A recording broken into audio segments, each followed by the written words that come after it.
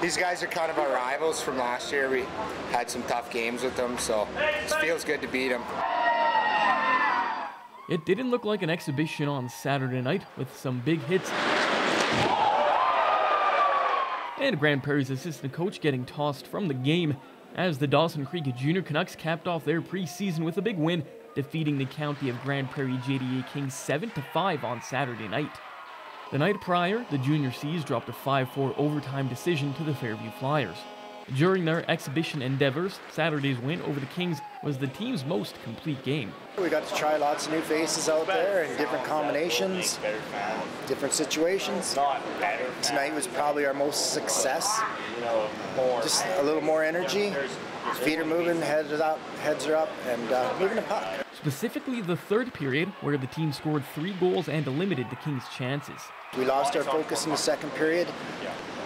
Third period, we wanted to come out and apply the pressure, put uh, Grande Prairie on their heels, and then just maintain that. Capitalize on the chances we had. But in order to do that, you got to keep your shift short, and everybody has to understand their role.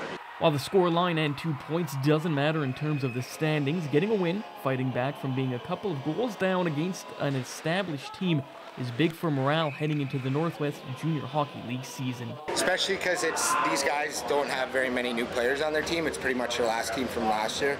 So it's good to go out there and beat essentially a team that's ready, played with each other before and stuff, with a bunch of new guys in our room.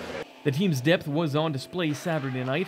Five players had two-point nights, Ethan Buck scoring twice, Coleman Brinsky with two helpers, and three others chipping in with a goal and an assist.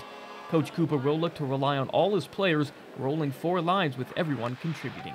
From the first line to the fourth line, it doesn't doesn't matter. We don't have a top and a bottom. We have a first line to fourth line that goes out there and provides energy to keep the other team on their heels. And that's what we did in the third period, and it, and it was successful.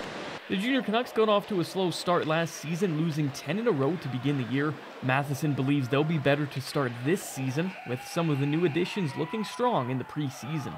Young kids that are out there grinding, laying body and stuff like that, and they always get back up and are out there next shift, so really impressed with them.